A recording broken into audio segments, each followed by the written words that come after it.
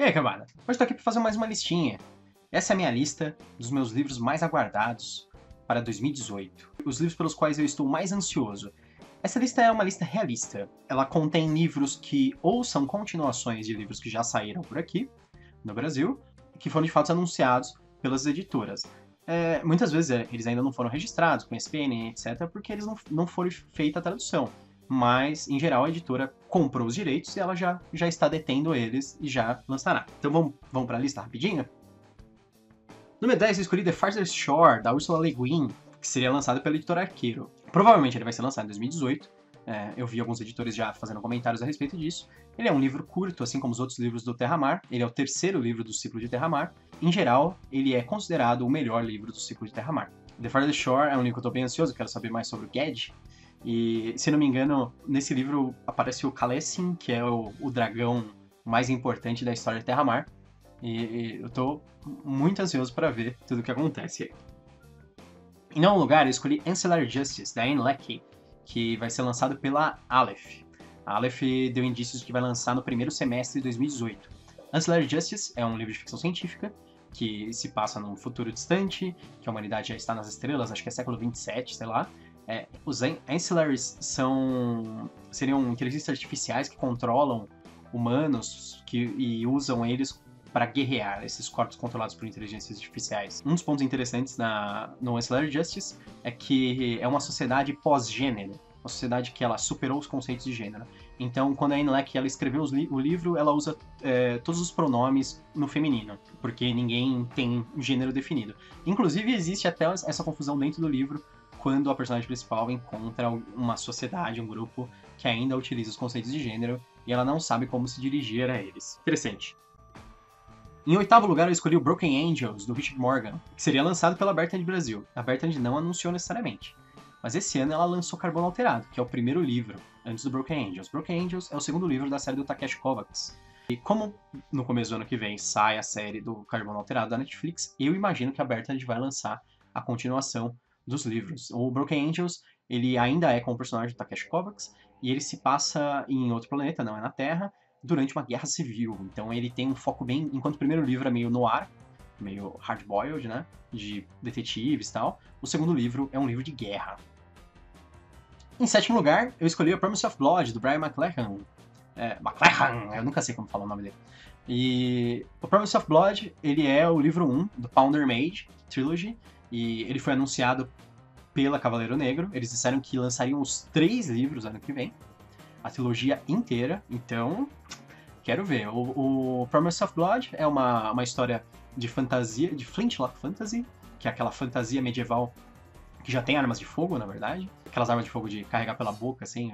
Armas de fogo antigas. O Promise of Blood, eu já tinha falado a respeito dele no meu vídeo de livros contemporâneos que tem que vir para o Brasil.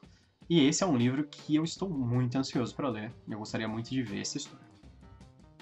Em sexto lugar, eu escolhi o Navio Insano, da Robin Hobb, que vai ser lançado pela Leia. Inclusive, ele já tem esse nome, é, em inglês é o Mad Ship, e aí ficou como Navio Insano, eles já anunciaram que esse é o nome oficial. Ele faz parte da trilogia do Mercadores Navios Vivos, que o primeiro livro saiu recentemente, que é o Navio Arcano. Vocês já devem saber, eu sou um grande fã da Robin Hobb e eu quero saber como continua a saga dos mercadores de navios vivos, das pessoas que viajam nesses navios, que são seres vivos, na verdade. No, no mundo do que faz parte do Reino dos Antigos, que é o, o grande universo compartilhado da Robin Hobb. Em quinto lugar, eu escolhi Red Mars, do Kingston e Robson, também seria lançado pela Aleph no ano que vem. Red Mars, ele é o primeiro da trilogia da, da série Mars, né? Que tem Red Mars, é, Green Mars, Blue Mars, aí depois acho que The Martians, uma coisa assim. Que é uma, o The Martians é só uma série de, de contos que se passam dentro do, mesmo universo. A série Mars, que começa com o Red Mars, ele conta a história da humanidade indo colonizar Marte, deles fazendo terraformação e etc. Ele é um, um livro que ele tem uma pegada bem utopiana ao invés de distopiana porque eles já estão numa, numa época assim pós-escassez e, e, eles mostram como em Marte eles conseguem criar uma sociedade mais igualitária, diferente da Terra que sofre com superpopulação e uma série de problemas. E nós vamos vendo é, a visão de várias pessoas ao longo dessa colonização de Marte. Então não é nada assim de conflitos, nem guerra, nem nada disso. É uma ficção científica bem pé no chão mesmo. Red Mars, super interessante. Era de 1992. Eu sei que ela ganhou vários prêmios E eu quero muito ver esse livro. Tô escrevendo bastante ficção científica, né? Em quarto lugar, em quarto lugar, eu escolhi Hyperion, ou Hyperion, do Dan Simmons, que também vai ser lançado pela Aleph.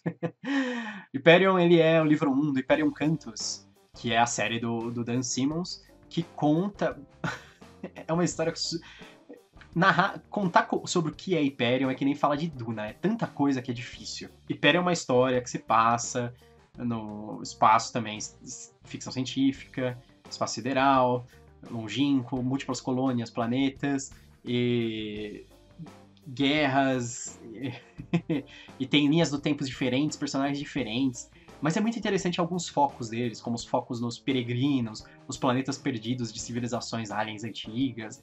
Tem bastante coisa assim. É, Hyperion é uma saga épica de ficção científica. Eu estou tremendo para ler. Eu quero muito ler.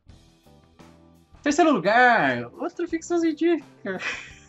Em terceiro lugar, eu escolhi Shadow of the Torturer, que é o primeiro livro do Book of the New Sun, do Jim Wolfe, que vai ser lançado pela Suma das Letras. Ela tinha anunciado que lançaria ano que vem. A Suma das Letras agora virou o selo geek da Companhia das Letras. E o, o, Shadow of the Torturer, ele é um livro que é uma mistura de fantasia com ficção científica. O, o sol está se extinguindo e o personagem principal é o torturador que viaja pelo mundo. Ele é um livro que tem combates com espada, muita simbologia católica. E isso é muito interessante, porque o Gene Wolfe ele insere de uma maneira muito bem feita é, essa simbologia e as, e as ideias em geral da religiosidade nesse universo que mistura ficção científica e fantasia. É, todo mundo. É difícil comparar com alguma coisa. Eu acho que o Book of the Sun eu compararia com A Torre Negra, do, do Stephen King. Ele é uma saga, eles são, acho que, cinco livros, se eu não me engano. E esses livros eles contêm muita coisa, muitos elementos de muitas histórias diferentes, um pouco de terror, é, um pouco de fantasia, um pouco de ficção científica, e, e, sempre uma construção muito bem feita do mundo e dos personagens. Em segundo lugar, e agora, quem ficou em primeiro e segundo, né? Em segundo lugar, eu escolhi Way of Kings, do Brandon Sanderson. Way of Kings foi anunciado pela Leia, ela finalmente ela comprou os direitos da Aleph, que a Aleph tinha comprado os direitos, eles negociaram com a Leia, a Leia agora adquiriu. Way of Kings é o primeiro livro do Stormlight Archive do Brandon Sanderson. A, a Leia anunciou que vai trazer ele ano que vem, em 2018. Assim como Warbreaker. Warbreaker eu, é uma menção honrosa, eu também quero muito ler ele, mas Way of Kings é o opus epônimos, obra-prima máxima do Brandon Sanderson, que é o Stormlight Archive, que é uma série de 10 livros com arcos de 5 livros cada. O Way of Kings é o primeiro livro da primeira saga, do primeiro arco de cinco livros.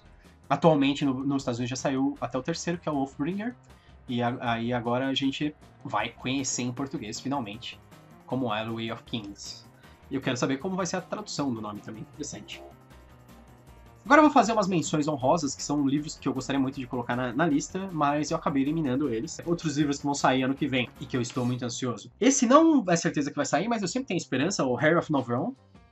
Ele é o terceiro do Revelações de Hyria. A Record, ela abandonou a trilogia. É só uma trilogia, ela lançou os dois primeiros livros e não lançou o terceiro.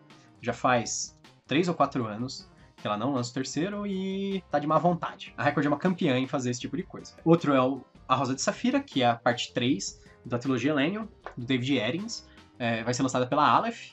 A Aleph disse que vai lançar ano que vem esse livro, de qualquer jeito, porque o último foi lançado ano passado, em 2016. Então, mais de um ano para lançar esse livro é bastante tempo, né? Eu sei que é uma, é uma série de fantasia que não, não fez tanto sucesso quanto a Aleph esperava. É uma pena, porque é uma série de fantasia excelente. Eu já fiz a, o Trono de Diamante, eu já fiz a, a resenha no meu canal. Em breve, eu, eu talvez eu faça do, do Cavaleiro de Rubi, que é a continuação que é um livro muito mais legal, o Trono de Diamante. E a Rosa de Safira eu gostaria muito de ver. Também Lord of Chaos. Lord of Chaos, do Robert Jordan, vai ser lançado pela Intrínseca. Um ano e meio aí que não sai nenhum livro novo da Roda do Tempo. E o Lord of Chaos é o sexto livro da Roda do Tempo e é o maior de todos, mais de mil páginas. Mas parece que finalmente vai sair. Dizem que ele é verdadeiramente, épico, tem uma guerra fantástica. Então, Lord of Chaos, ficar de olho nele. Ah, também um uma, outro fechamento de trilogia seria The Last Mortal Bond. Last Mortal Bond, do Brian Staveley foi, é, a série é da série Trono de Pedra Bruta, Crônicas do Trono de Pedra Bruta, que está sendo lançada pela Novo Século. Esse ano eles lançaram a Providência do Fogo. Eu gostaria muito que saísse o terceiro livro, que é o Last Mortal Bond. E por último, nas menções honrosas, Soul Music, do Terry Pratchett. Eu sempre gosto quando a Bertrand traz novos livros do Terry Pratchett. Esse ano eles, eles lançaram Homens de Armas. E ano que vem, muito provavelmente, eles vão lançar Soul Music, porque inclusive eu sei que já, o livro já está traduzido, só falta o lançamento mesmo. Em primeiro lugar, se você já acompanha meu canal, provavelmente você vai saber o que eu vou falar. O livro que eu estou mais ansioso para sair ano que vem é Dead House Gates, que é da série O Livro Malasanos Caídos, escrito por Steven Erickson e lançado aqui no Brasil pela Arqueiro. A Arqueiro disse que ia lançar no final desse ano, de 2017, eles não cumpriram.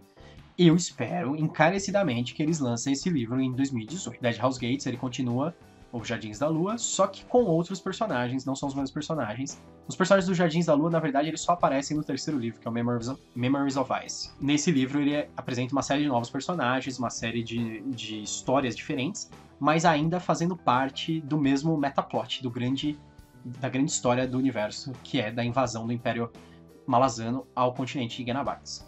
Então, esse com certeza é o livro de fantasia que eu mais aguardo que seja lançado. Eu quero muito ler esse livro. Por favor, arqueiro, não me decepcione. Lance esse livro. Essas são minhas expectativas de 2018. Eu espero que você tenha gostado. Fale quais são as suas expectativas também. Talvez eu tenha esquecido de alguns livros. Na verdade, tinha muito livro para falar. Tem uma, uma, uma infinidade de livros. Mas esses são os que eu gostaria mais que saíssem logo. Que chegassem às minhas mãos. se você gostou do vídeo, curte, se inscreve no canal. Eu sou o Gustavo Domingues e bem-vindo ao Canavial.